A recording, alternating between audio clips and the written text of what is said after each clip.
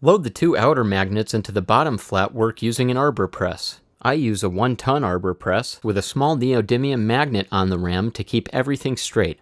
Secure the bobbin assembly jig around the outside magnets with a rubber band. I use an assembly jig of my own design with each one carefully thickness to the exact coil height I need for each model. Once the jig is in place, insert the rest of the magnets into the holes, then press them in one at a time on the arbor press. Now to prepare the top flat work piece. I remount the top flat work with a reamer of identical size. For 187 thousandths or 3 16ths pole piece flat work, I use a 187 thousandths reamer. The tiny amount of fiberboard the reamer removes actually goes a long way in preventing the top flat work from flaring up around the magnets, which not only doesn't look good, but can also prevent the pickup cover from seating properly. It also allows a little more surface area for the superglue to wick in, which I'll be using to secure the magnets in the flat work. With the top flat work reamed out, place it over the magnets and hammer it down. Only hammer it down part of the way, then use a caul on top. The holes on the caul I made are oversized, so they slip comfortably over the pole pieces. The caul covers the entire top flatwork piece and ensures that it presses down flush against the assembly jig. You can press it on with an arbor press, but I find that hammering it on gives me cleaner results with no flaring of the top flatwork around the pole pieces. Remove the rubber band and the assembly jig, being careful not to lift the top flatwork up at all by pulling up on the assembly jig. Pull sideways to take them out without disturbing the top flatwork position. Apply thin superglue around each of the pole pieces. The glue will quickly wick in around the base of the magnets and any excess can be removed with a Q-tip. Work quickly to make sure that none of the cotton on the Q-tip gets stuck to the top flatwork piece. Flip the pickup over and repeat the process on the underside of the top flatwork. As the underside is not going to be visible, aesthetics don't matter, and I can focus on saturating the area with glue. Move it around with a toothpick to make sure every single pole piece has plenty of glue to wick into any voids, then clean it with a Q-tip. Repeat the process on the bottom flatwork. For the bottom, I only glue one side. Keep in mind that the top flatwork was reamed and the bottom was not. The bottom flatwork piece is also considerably thicker than the top, holds the magnets more securely, and doesn't need as much reinforcing. The top flatwork is the most at risk for warping under the tension of the coil. Use an X-Acto knife to clean up fiberboard residue on the bottom flatwork piece. You can use the blade like a pick and simply pluck the fiberboard remnants out. This gives the pickup a much cleaner, more professional look. Now to get rid of any burrs, snags, or roughness that the fine magnet wire could potentially get hung up on. A small smooth cut file of just about any make and model will work fine here. Go around all the edges of the top and bottom flat work where the magnet wire will be touching. Make sure there are no bumps or any points where the wire could snag, including the top of the eyelets, which sometimes can protrude enough to catch the wire while winding. Take those down along with all the other surfaces until they're nice and smooth. Next up is polyimide tape. Galvanic corrosion will occur between the copper and the wire and the aluminum in the rod magnets unless there's an insulator between them.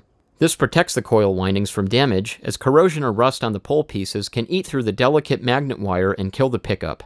Kapton tape is a popular brand. I use 13mm tape for my half-inch tall bobbins with 719 thousandths tall pole pieces, and 15mm tape for my 570 thousandths tall bobbins with 780 thousandths tall pole pieces.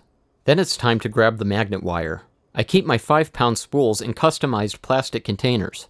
I screwed a dowel into the bottom, which acts as a holder for the spool, installed a wooden bead on the lid that acts as an exit hole for the magnet wire as it dereels off the spool, loaded the spool with a whisker disc, which keeps the wire from getting stuck on the spool as it dereels and also adds quite a bit of tension to the wire, and glued a magnet to the lid that acts as a holder for my wire tensioning device, which is a StewMac kerfing clamp and two pieces of single-ply pickguard material lined with loop velcro.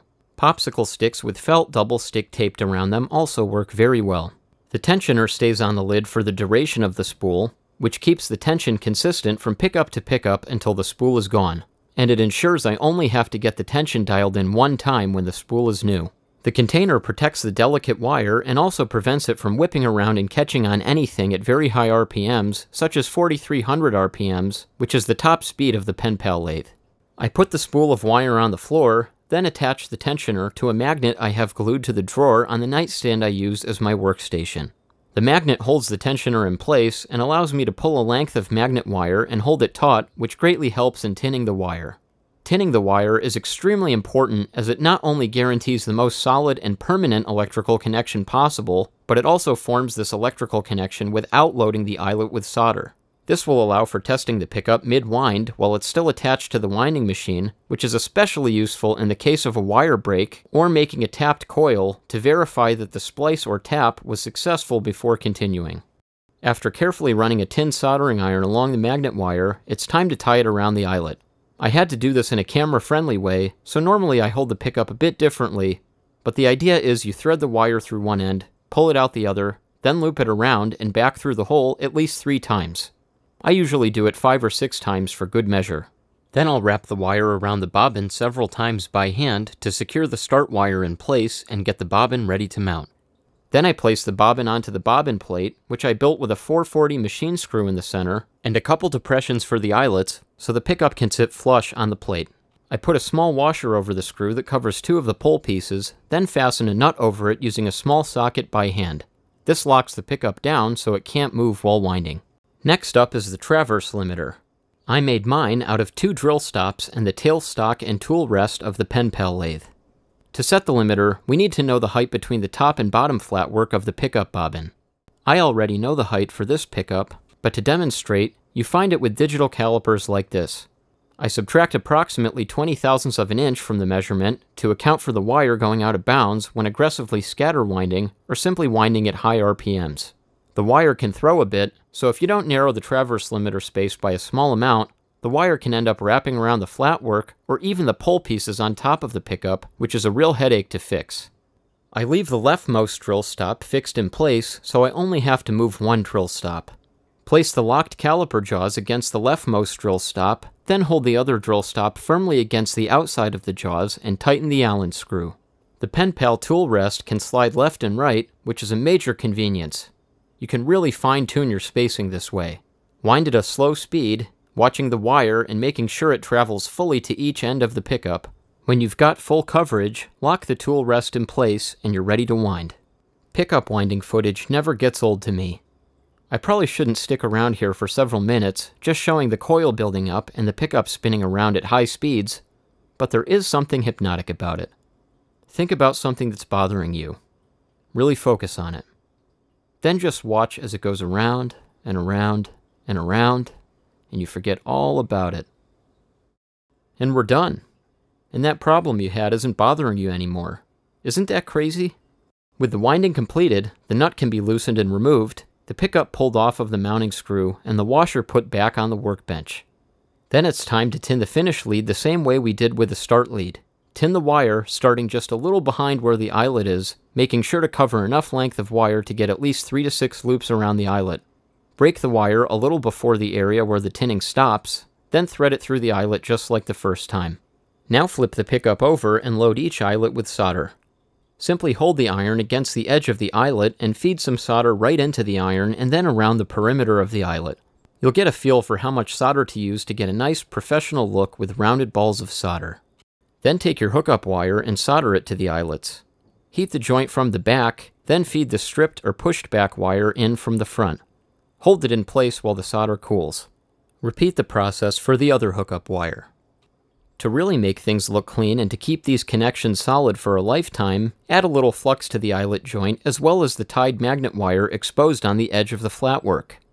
Then tin your iron again and run it over the magnet wire and the eyelet to watch the magic happen. The flux will reflow the joint beautifully and get out any unsightly bumps, and now your magnet wire wrapped around the flatwork edge, which is very prone to breaking, is heavily reinforced and ready for worry-free handling and installation. With the soldering completed, feed the hookup wires through the hole in the bottom flatwork, pull them taut, and twist them together. Now the pickup is ready to label and sign. I use a number 8 sized Sakura Gelly Roll pen for black flatwork pickups, and an ultra fine tip black Sharpie for gray flat work and metal base plates. Then it's into the wax bath. I use a hold heat glue pot. Some people like potting their pickups less or more. I usually wait until the bubbles stop coming up, or about 5 to 10 minutes. When it's done, I turn the pickup sideways to let the bulk of excess wax drain back into the pot, then place it on a piece of paper towel and use another piece of paper towel to wipe it down. Make sure to move quickly and get all of the liquid wax off to make sure the finished pickup looks as clean and professional as possible. Magnetizing is next. I like to wait after potting so the coil is sealed and protected, as it requires you to get a fairly good grip on the coil. I use a Mojotone magnetizer, which is simply a small vise with neodymium bar magnets fixed to the jaws. I load the pickup in, then close the jaws all the way, then release them a little bit so I can move the pickup side to side a few times before removing it. I verify the magnetic polarity and Gauss strength with a WT10A Gauss meter afterwards. And there you have it. My process for assembling and winding a single coil pickup, which I've changed and modified multiple times over the last five years. I may change some things in the future, but a lot of time, effort, practice, and refinement has gotten my pickup building process to the point it's at today. Be sure to check the link in the description box for my complete guide on testing pickups, which goes way beyond DC resistance into a realm you never even knew existed. There's so much more to pickups that I didn't cover in this video, so hit that like button and get ready for more guitar content you're not going to find anywhere else. Right here on Guitar MD.